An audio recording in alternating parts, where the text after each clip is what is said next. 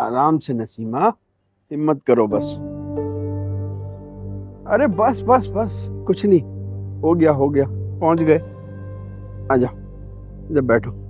चलो। बैठो यहाँ। बैठो।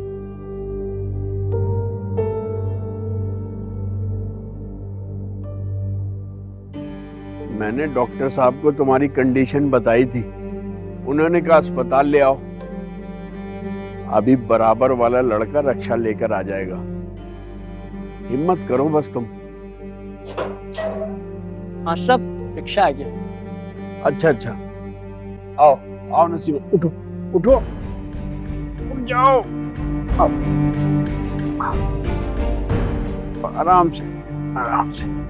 बस बस बस। रक्षे तक चलो बस। इतनी हिम्मत कर लो।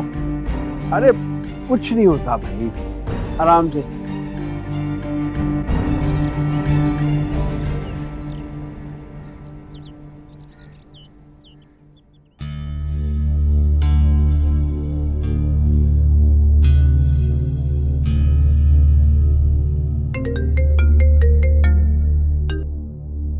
हेलो हेलो अब्बा? हाँ फ़ोन नहीं उठा रहे थे। अम्मी का भी फ़ोन नहीं लग रहा था। अम्मी ठीक तो है ना? हाँ बेटा। तुम्हारी अम्मी अब बिल्कुल ठीक है। अब ठीक है मतलब? क्या हुआ है अम्मी को? पता नहीं तुमसे बात हो रही थी शायद। अचानक चकरा कर गिर गई। तो अच्छा हुआ मैं वक्त पर पहुँच गया और उन्हें हॉस्पिटल ले आया। हॉस्पिटल? मेरी बात करवाएँ अम्मी से। हाँ अभी तो वो रूम में है। मैं बिल पे करने जा रहा हूँ। उसके बाद हम घर जा रहे हैं। तुम फ़िक्र बिल्कुल मत करो। अम्मी ठीक है बिल्कुल। मैं कैसे फ़िक्र नहीं करूँ? मैं आ रही हूँ अम्मी के पास। जब तक उनको देख नहीं लूँगी ना तसल्ली नहीं होगी मुझे। अच्छा ठीक है। हम घर जा रहे तुम घर आ जाना आराम से और परेशान बिल्कुल मत हो। जी ठीक है मैं आ रही हूँ। हाफिज। अल्लाह हाफिज। अब्बा को क्या मालूम? कि फ़ोन पर क्या हुआ है।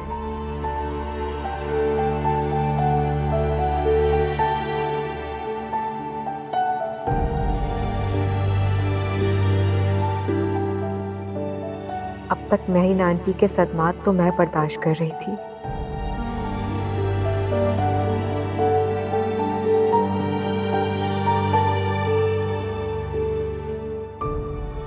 लेकिन अब तो ये बात मेरी अम्मी तक पहुँच गई है। मेरा इस दुनिया में मेरी अम्मी और अब्बा के सिवा है ही कौन?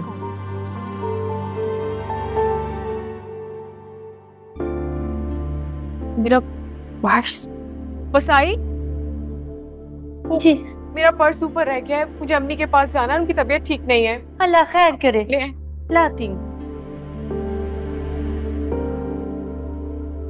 ताईजान ताईजान मैंने आपसे कहा था ना कुछ गड़बड़ है कुछ ठीक नहीं है। वही हुआ जिसका डर था। अल्लाह खैर करे क्या हुआ है बेटा? ताईजान अम्मी बेहोश हो गई थी। क्या? अब कैसी है तुम्हारी अम्मी? अब तो वो हॉस्पिटल से घर आ गई। है लेकिन सही तो जाकर पता चलेगा कि उन्हें हुआ क्या है। अच्छा अच्छा मेरा बच्चा परेशान मत हो। लेकिन मुझे समझ में नहीं आ रहा कि नसीमा बहन इस तरह कैसे बेहोश हो गई।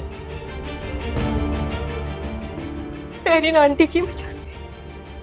क्या मतलब महरीन की वजह से? कि मैंने सबको बताया हुआ था कि मैं ससुराल में बहुत खुश हूँ। मेरी अम्मी नहीं जानती कि मैं किस तरह के दिन गुजार रही हूँ यहाँ पे। आज सुबह जब अम्मी का फ़ोन आया, मैं बात कर रही थी तो मेरी आंटी अचानक से कमरे में आ गई और मुझ पे बरस पड़ी। जो उनके मुँह में आया उन्होंने मुझे बोला और एक एक लफ्ज अम्मी ने सुना। आप खुद सोचे वो बेहोश नहीं होती तो वो क्या होती? बस, मेरा बच्चा, बस।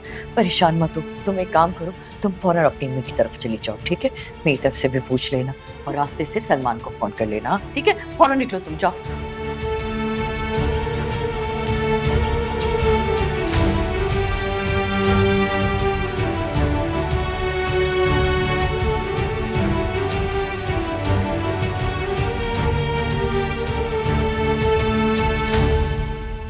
इंशाल्लाह सैर करना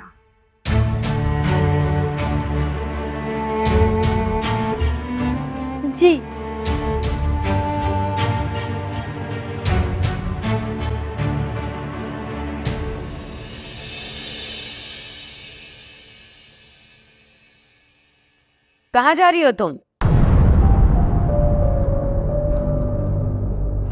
इस तरह बैग लेके?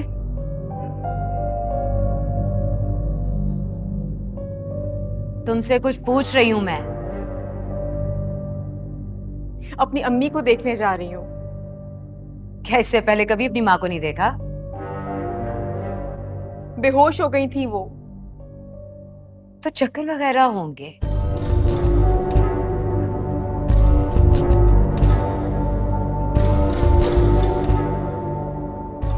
बस तुम्हें तो बहाना चाहिए उनके पास जाने का और उन्हें बहाना चाहिए तुम्हें अपने पास बुलाने का। बहाना नहीं है ये आंटी।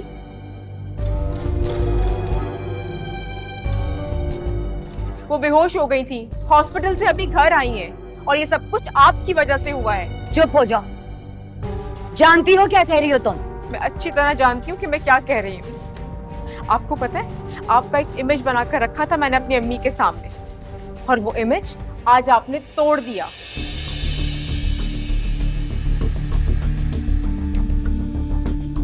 मेरी अम्मी का जब्त भी टूट गया। सब कुछ सुन लिया उन्होंने आज। सुनती हैं तो सुन लें। मैं कोई डरती नहीं हूँ तुम्हारी माँ से। एहतराम तो कर सकती है ना आप। अम्मी है वो मेरी। कोई अनोखी माँ नहीं है वो तुम्हारी।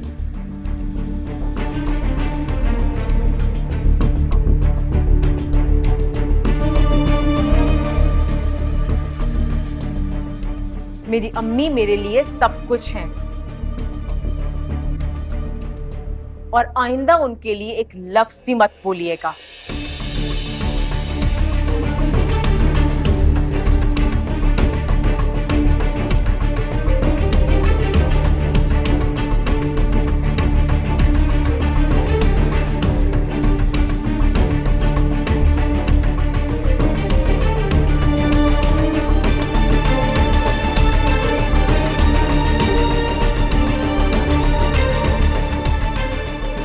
अब फैसला होगा कि तुम्हारी माँ तुम्हारे लिए अहम है या फिर सलमान की माँ।